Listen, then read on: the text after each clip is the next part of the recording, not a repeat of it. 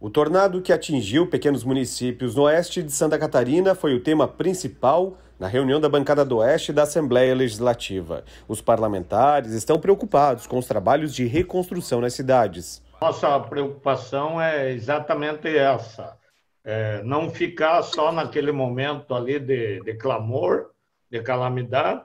é, da visita, e para que a gente possa, ir através da bancada, saber o que o município recebeu, o que precisa receber, e queremos é, realmente receber cópia desse expediente, eu vou passar para todos os deputados, mas vamos fazer um, um documento conjunto é, da bancada endossando esse documento.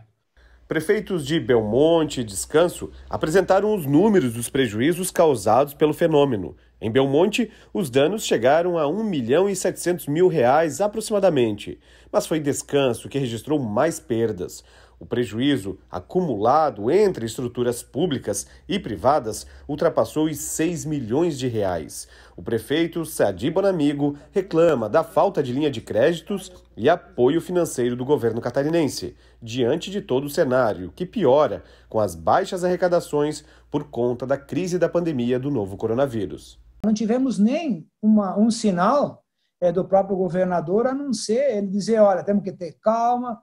e Estamos vivendo uma pandemia, estamos vivendo um momento delicado, e nós, além dos recursos já sendo escassos e reduzidos, né, do próprio ICMS, da própria arrecadação, e, e não é diferente, quem, né, é, é, já todo mundo já sabe disso também, então, nós estamos vivendo um momento muito delicado nesse sentido. Os deputados se propuseram a reforçar pedidos de apoio ao governo catarinense para que apresente alternativas de ajuda aos municípios afetados. Uma das alternativas é atualizar uma lei já existente, que permitiria auxílio financeiro em casos como esses.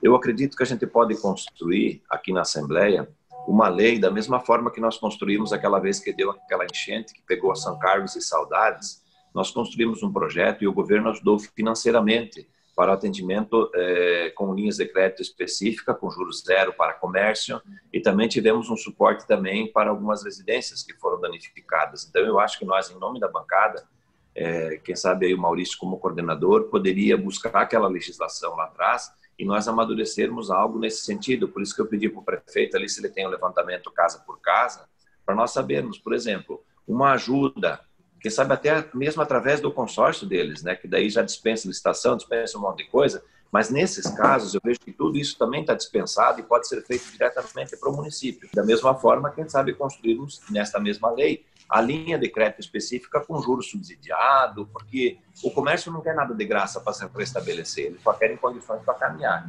Ainda na reunião, o colegiado discutiu a situação de hospitais do oeste de Santa Catarina, como estão atuando diante da pandemia da Covid-19 e se o Estado tem agido de forma adequada. Foi cogitada uma reunião entre a Secretaria de Estado da Saúde e diretores de hospitais da região para esclarecer dúvidas sobre o papel do Estado e a função das instituições hospitalares, no que diz respeito a equipamentos e corpo técnico para o enfrentamento à crise do novo coronavírus.